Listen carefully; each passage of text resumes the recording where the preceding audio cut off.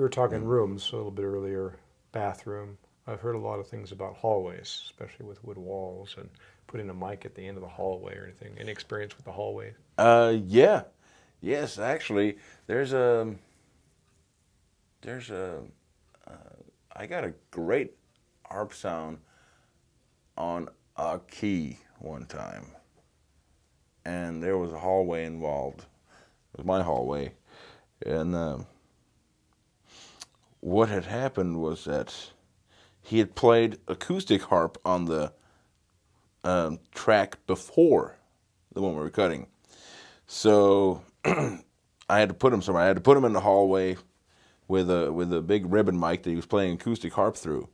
And then they just busted into this next song and he's playing electric harp and his harp amp was in the kitchen next to the hallway. And the door was open. Actually, there is no door. Uh, so, so, so his acoustic mic uh, in the hallway was picking up his amp sound coming from the kitchen. Uh-huh. Uh, It sounded humongous. That that kind of happened by accident. I'm, I'm ashamed to say, but uh, A lot of brilliant things happen by accident. yeah, absolutely. Because it was a real massive harp sound. Huh, nice. What about the large room? Does it get uh, does the sound get swallowed up because the reflective surfaces are so far away? It can, it it can get it can get swallowed up.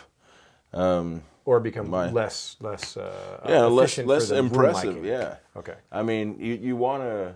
I think it's good to have a room that you want to kind of excite the room a little bit Okay, when you're got play. You know, when you're when you're playing, you want to you want an amp that's kind of loud for the room, and and there's uh, you know, there's definitely big rooms that. Uh, you know they're not they're not excited by a by a small harmonica amp, and then it kind of it kind of uh, comes through. Uh, but having said that, I think my you know my favorite way of recording blues, um, in general, harmonica or not, is um, is to have everybody in the room together. Uh, maybe even with no headphones, actually like a little vocal monitor, and, and playing together in real time as they would do on a gig or a rehearsal.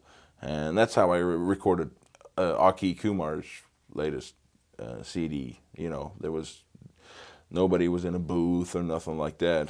Because the cool thing that happens there is that in such a in the situation like that, I would just put a mic on each amp. You know, it's pointless to put a you know room mic in front of the harp amp because if you put you know put that far enough away, then you're maybe you're closer to you know the drums or another guitar amp. But the beautiful thing that happens is that every mic becomes a room mic.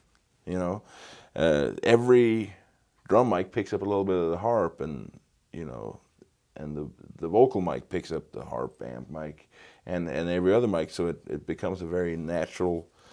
Um, you know, it's the most natural sounding sounding thing to have just just you know it, it the bleed just makes it all blend together you know of course it's you know it's uh it, it, if you all of a sudden decide you need to do a harmonica solo again you might be SOL um, so you got to kind of nail it Yeah. but but it's a but it's a you know it's a cool sound and uh, you know and you can say with pride too that Yeah, yeah. he didn't alter anything. Um, and uh, I can, uh, yeah, this is a 57 I'm holding here, but there's, for harmonica recording, there's uh, some mics I can recommend. Please. There's, um, there's, um, you know, been kind of a resurgence in ribbon mics lately. You know, you look at, you know, probably at, at chess records and places like that. That's all they had until they, you know, until they got some, some German Neumann mics maybe later on and stuff. But um, you know, ribbon mics is a, you know the most, the oldest design. They're very fragile and they're lower output than, than uh, something like this or a condenser mic. Um, but to get a very natural sound and they gently kind of roll off some of the high end. So I usually use that for an acoustic harmonica sound, some kind of ribbon mic. And there's a company in um, Washington called Cascade Microphones, who make some very good and very affordable ribbon mics, including one called the Fathead, um, and it's I think it's about 150 bucks, and it looks cool and it it sounds great, great for acoustic harmonica, Hmm. and also really great to put right upon your amp um, for a close mic. Actually, they're good room mics too if you got a couple of them. So I recommend those, and also uh, uh, John Nemeth. Uh, I recorded his harmonica. He really liked, and I kind of stuck with that for a while. The Sennheiser uh, 421 um, microphone, which is uh, um, well, we'll show a picture of it. Okay. Um, and that's yeah, that's another good good uh, mic that, that picks up a little more woofiness than than a than a SM57 or something would, because they're also really good on kick drum and bass and, uh, and bass instruments. So um, those are probably my favorite mics for recording harmonica, Great. Thanks for that suggestion. and uh, as well as a you know any any a condenser mic like this, you know you can get you can spend anywhere from fifty bucks to uh, you know ten grand on a on a condenser mic, and the difference is probably about four percent. Yeah.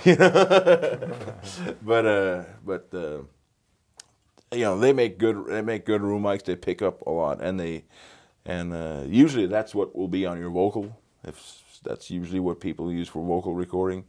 So um, if you're a harmonica player and singer, um, you know that's my that's my tip for the quickest way to uh, to a good harp sound, just to be in a room with your amp and leave this sucker on when you when you're playing a harmonica.